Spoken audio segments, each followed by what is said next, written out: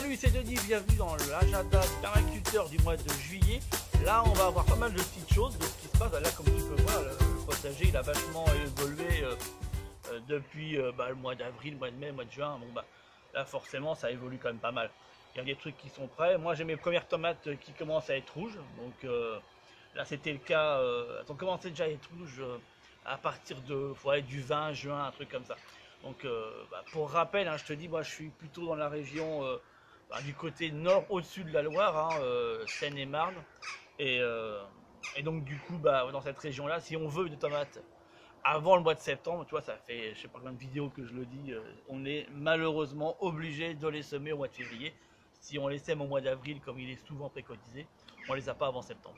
Donc clairement, moi j'ai renoncé de le faire bah, de manière, j'ai envie de dire plutôt, je serais pas logique, en tout cas de le faire au mois d'avril comme il est préconisé, parce que le temps qu'elles bah, se développent et qu'elles fassent leurs premières tomates et puis que tu vois, elles viennent, voilà, qu'elles viennent en la couleur qu'elles sont censées avoir. Bon, là, c'est une variété rouge, mais j'ai des variétés noires, j'ai d'autres variétés, d'autres couleurs. Mais euh, bah, si on fait ça en avril, bah, on n'a pas ça avant septembre. Donc là, clairement, pour moi, ça me posait, pour moi, ça me pose un souci. Peut-être que pour toi, ça ne passera pas. Mais euh, bon, je trouve c'est un peu dommage d'avoir des tomates en automne alors que c'est un, quand un fruit qu'on est censé avoir, euh, enfin qu'on aime avoir en tout cas l'été. Donc voilà, moi je sème ça en février et en toute logique, euh, mi-juin, début juillet, tout dépend après des saisons et puis du temps, euh, j'ai mes premières tomates. Donc là, là on est début août, enfin début août, excuse-moi, on est début juillet. On est début juillet et j'ai déjà mes premières tomates qui commencent à rougir, un petit peu plus en retard que l'année dernière. Quoique une semaine près, on va te dire, je sais pas si c'est vraiment du retard, on s'en fiche un peu dans ces paramètres-là. Mais bon, voilà un petit peu l'histoire de la tomate. Et puis j'ai mes courgettes aussi, courges qui commencent aussi à, dans le même principe. Donc à ce niveau-là, j'ai vraiment, euh, en tout cas pour cette année, j'ai pas de retard par rapport à ça. Euh, je t'avais déjà parlé au mois de juin des semis, les semis qu'il y avait à faire. Que là, il fallait commencer à préparer ben, tu vois ce qu'il va y avoir cet hiver, c'est ce qu'on va mettre au jardin à partir de l'automne et qui va nous durer l'hiver jusqu'au début du printemps. C'est-à-dire en fait bah, les légumes dont on aura besoin pour se nourrir tout l'automne, tout l'hiver et aussi euh, quasi début du printemps. Donc si tu veux, là, les semis qu'on va mettre en place, c'est vraiment, euh, j'ai envie de te dire, si là on doit mettre le paquet, c'est là, c'est là. Parce qu'il va falloir qu'on tienne avec ce qu'on va faire, à peu près, j'ai envie de te dire, pour certaines régions, quasiment six mois. Euh, qu'on a un peu, là je continue encore à te parler, toi, des régions par rapport euh, au, nord, hein, à la partie nord. On a six mois de beau temps et six mois de temps merdique, pour compter un petit peu près ça.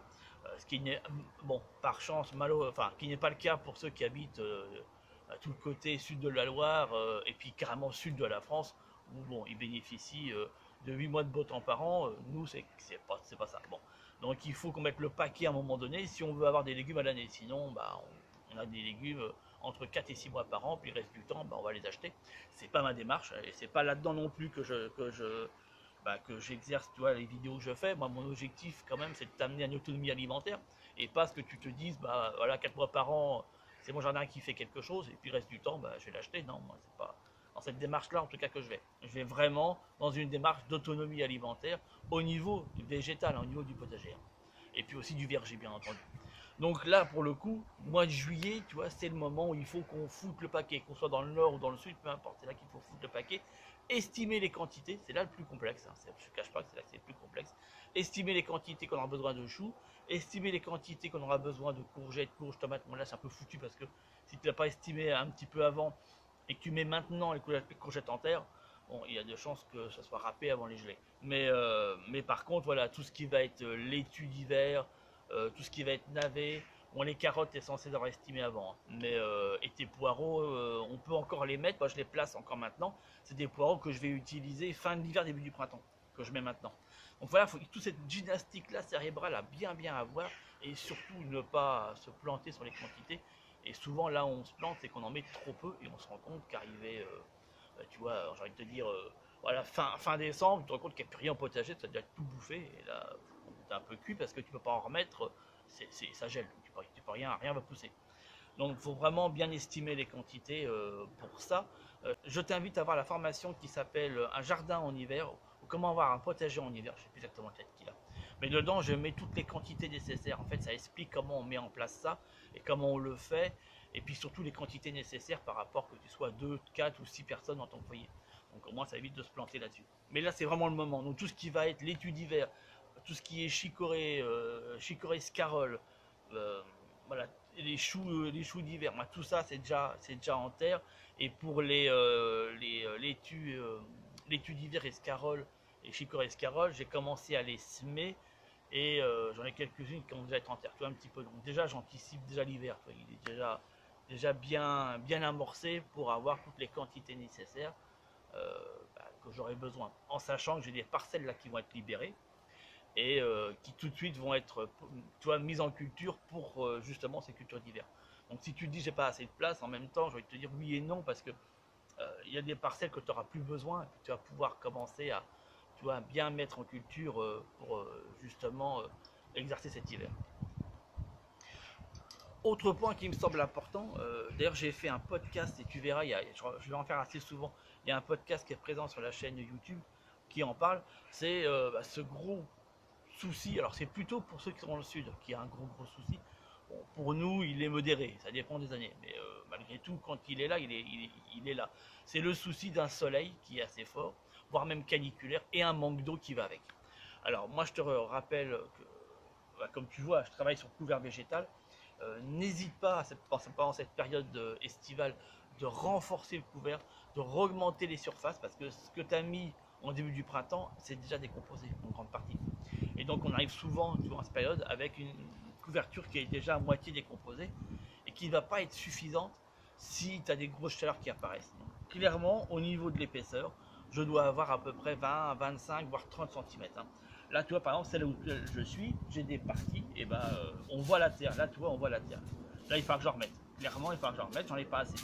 Par contre, ici, j'en ai, tu vois, autour des tomates, j'en ai suffisamment. Là, mes 20 cm, je les ai. Mais euh, faut vraiment qu'il y ait une bonne épaisseur, surtout si tu habites une région qui est très ensoleillée et très chaude. Euh, euh, la raison en est fort simple, c'est que s'il y a une canicule, forcément avec, tu vas avoir ce qui va de pair hein, une restriction d'eau.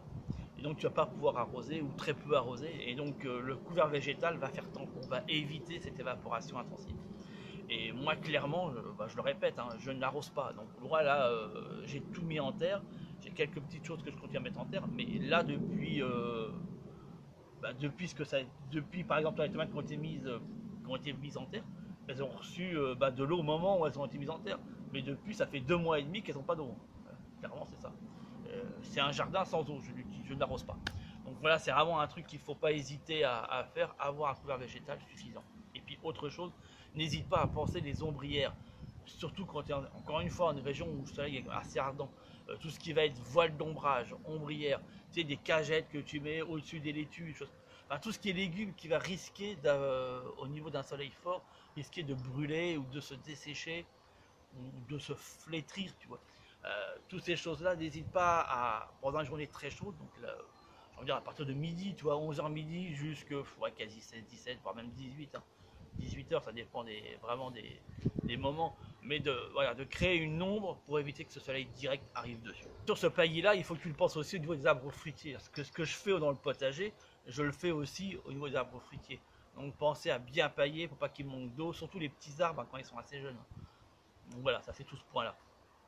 Euh, autre point euh, qui, va être important, c'est bah, tout ce qui nous concerne les ravageurs, qui va être euh, un gros gros point je suis en train de préparer quelque chose par rapport à ça, justement, parce que c'est une question qui revient vraiment régulièrement.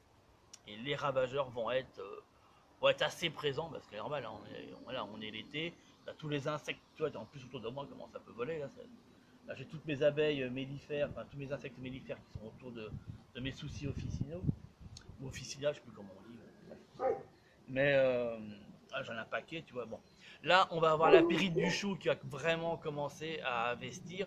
Je peux encore une fois, je suis navré, je peux malheureusement pas te montrer. Si j'ai une attaque, je ferai une vidéo spécifique sur la pyrite du chou. Mais là, je peux pas te montrer parce que j'ai pas d'attaque, vu que je, travaille tout pour éviter d'en avoir. Donc euh, bon, c'est compliqué de te montrer à quoi ça correspond parce que j'ai tout fait pour pas avoir ce problème-là. Mais bon, parfois, ça m'arrive d'en avoir quand même. Donc euh, bon, si j'en ai, si ça apparaît, je ferai une vidéo là-dessus. Et euh, pyrite du chou, en fait, c'est des petits amas, de petites billes jaunes en dessous les feuilles des choux particulièrement les choux, que tu vas apercevoir et puis qu'après qui donne des chenilles et puis ça te bouge le chou en une nuit. Hein. Clairement, ça va, ça fonce assez. Désolé à cause du, bruit du chien, mais bon, le voisin le met souvent dehors et bon, apparemment il apprécie pas euh, et euh, donc moi pour ça, c'est vraiment la précaution. Si tu veux éviter la périte du chou, c'est l'association qui va, qui va beaucoup y faire. Travailler en associé au niveau du potager va te permettre d'éviter grandement la périte du chou. Après, si tu sens que tu es dans une région, dans un coin où ce papillon est vraiment, vraiment extrêmement présent, n'hésite pas à ajouter mes préventives. Moi, je le fais plus mais bon, peut-être que toi, tu en auras besoin, euh, une décoction de, de hein, euh, qui est une fleur jaune, euh, tu fais une décoction avec ça, puis tu, tu pulvérises sur le matin, hein, bien entendu. Et puis, il bah, faut renouveler ça régulièrement, parce que sinon, ça, a un intérêt, cette, cette plante, c'est que ça éloigne quand même pas mal, c'est assez efficace, je trouve. Bon, après, l'association va permettre quand même d'éviter ce cette routine un peu barbante de, voir. Euh, mais, euh, mais bon, ça peut t'emporter les choux. Si tu fais pas gaffe à ça, ça peut t'emporter les choux assez facilement. De même, je refais une légère, euh, légère retour au niveau des arrosages. C'est des arrosages. Si tu dois arroser, mais moi j'arrose pas, mais je donne quand même l'élément. Arrose le matin et ouais, vraiment le matin, avant les premières chaleurs, c'est là où l'arrosage sera le plus efficace et évitera d'autres apparitions de maladies, essentiellement des maladies liées aux champignons il y a un élément que je vais te euh, mettre en vidéo euh, assez rapidement qui explique toutes ces questions des maladies des plantes. Et euh, si tu veux éviter le milieu, si tu veux éviter le idiome, c'est vraiment arrosage au matin avant la première chaleur et toujours au pied de la plante et jamais sur le feuillage. Voilà. Bon, moi j'évite ça en n'arrosant pas du tout. Donc du coup ça permet aussi d'éviter ce genre de maladie. Mais, mais, bon voilà. Et puis dernier point, c'est la qui est surtout souvent sous les feuilles. Par contre là je vais te montrer parce que moi j'en ai. Euh, sous les feuilles de, bah, des navets, des radis et puis aussi des laitues. Euh, aussi, ça peut se aussi au niveau des choux. Euh, et qu'il faut des petits trous dans les feuilles. Bon, là c'est pareil, hein, c'est l'association qui va faire la différence. Malgré tout, les endroits où il y en a beaucoup, tu auras quand même des petits trous. C'est pas pour autant, enfin tant que tu sens que la plante est en bonne santé, j'ai envie de te dire, voilà quoi. Il y en a, il y en a. La nature est ainsi faite. On pas non plus éliminer des, tu vois, les animaux qui ne plaisent pas parce qu'ils apportent ceci ou cela pour moi, chaque être a le droit de, vivre. Après, c'est comment se comporte la plante par rapport à cette attaque. Est-ce qu'elle supporte ou est-ce qu'elle ne supporte pas? Pour moi, c'est plus ça. Hein. Encore une fois, voilà, ta adhésive va pouvoir euh, permettre d'éviter que ça. Ils sont souvent nombreux quand tu secoues la feuille. Là, j'en ai pas. Je vais te montrer l'autre côté, j'en ai. Mais ici, j'en ai pas euh, parce que je suis beaucoup plus associé que de l'autre côté où j'étais. Je suis un petit peu moins associé au niveau des fleurs. Mais, euh, mais bon, voilà. C'est pas non plus, envie de te dire, quelque chose de dramatique tant que la plante ne souffre pas trop. Et pour certains d'entre vous, euh, sont encore une fois la région dans laquelle vous êtes, ça va être le moment de récolter bah, ail, échalote, euh, oignons. Alors moi, c'est pas encore le cas. Euh, je sais pas si tu vois. Bon, moi ils sont, ils commencent à se dessécher un petit peu, à tomber aussi, tu vois. Alors ça c'est le signe. À quel moment euh, l'oignon et bah, tout ce qui est ail, oignon, échalote, à quel moment, quel est l'indicateur qui me dit à quel moment je peux récolter? Donc c'est vraiment quand la tige casse la figure, tu vois. Là, c'est le cas. Donc là, ici, je pousse mon pied. Euh, c'est euh, les échalotes. Et là, bah, les pieds voilà, sont, un peu écrabouillés et ça commence à se dessécher. Moi, j'attends vraiment que ce soit bien, bien flétri, tu vois, bien, bien desséché et flétri. Et à ce moment-là, je les arrache et je les pose bah, directement sur le paillis. Et je laisse sécher ouais, une petite semaine. Et après, j'en fais des tresses que je suspends. Euh, voilà, c'est l'indicateur. Fais-le pas trop tôt non plus parce qu'après ça fait comme des bulbes un peu petits. Mais euh, moi en regardant, euh, je me rends compte que bon, ils sont pas mal, mal. mes échalotes, je crois qu'ils sont pas mal non plus. Elles sont même, elles sont même plutôt bien. Voilà un petit peu pour cet injada. tu as dans la description la liste complète de ce qu'il y a semé, planté. comme à chaque fois, je pas trop faire, tu vois le descriptif complet, euh, je déjà pas mal de choses en amont. Et puis euh, je te donne rendez-vous bah, dans les prochaines vidéos, dans l'agenda du mois d'août. Et puis en attendant, ta liberté est à partir.